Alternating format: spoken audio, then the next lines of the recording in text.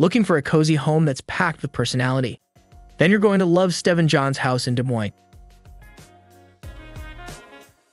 Filled with playful decor and unique features, this home is a true reflection of Stevin's fun-loving personality. But it's not just the inside that's impressive. The outdoor living spaces are equally delightful. From the charming front porch to the spacious backyard, there's plenty of room to relax and enjoy the beautiful Iowa scenery. So, whether you're a fan of Stevin John's work or just appreciate a home with tons of character, you won't want to miss this tour. Click the link in the description to see more and start dreaming about your own cozy retreat.